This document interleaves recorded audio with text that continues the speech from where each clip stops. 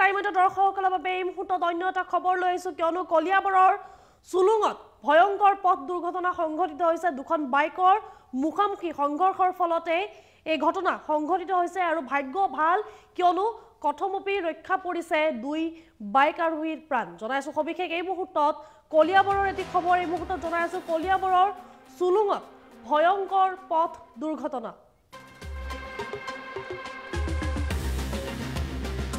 দুখন বাইকৰ মুখামুখি সংঘৰ্ষৰ ফলতে সৃষ্টি হৈছে এই ভয়ংকৰ দুৰ্ঘটনা।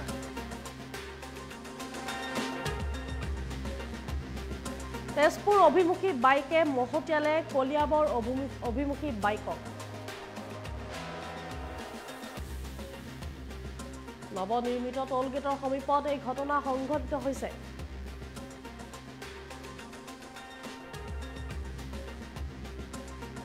গুৰুতৰভাৱে আহত হৈছে দুয়োগৰাকী আৰোহী আৰু এই দুয়োগৰাকী আৰোহীক বৰ্তমান মহকুমৰ অসামৰিক চিকিৎসালয়লৈ প্ৰেৰণ কৰা হৈছে।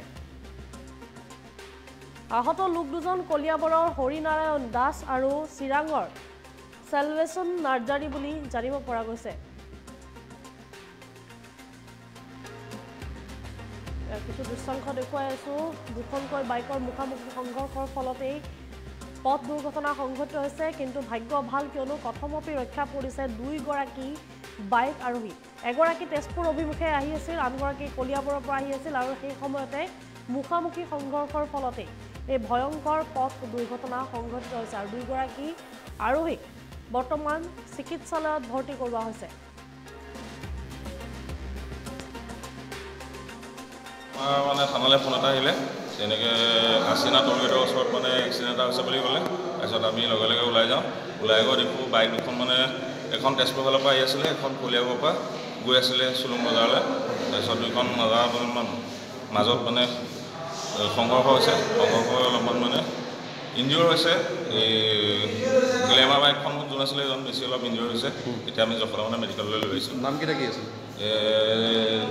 যোনজন এই কলিয়াবৰৰ এজন হাতীপথাৰতে ঘৰ তেওঁৰ নাম হৰিনাৰায়ণ দাস আৰু এইজনৰ নাম গম পাইছোঁ চেলভেশ্যন নাৰ্জাৰী।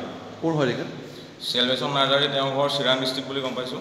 হৈ আহি আছিলোঁ তেনেকুৱাতে দেখিলোঁ এইখিনিতে মানে এখন এক্সিডেণ্ট এটা এজন আছিলে ৰাইডাৰ আছিলে তেওঁ ক'ৰবাত ৰাইড কৰি চাগে আহি আছিলে আৰু এজন বাইক লৈ মানে বাইকখন কৰি আছিলে আৰু।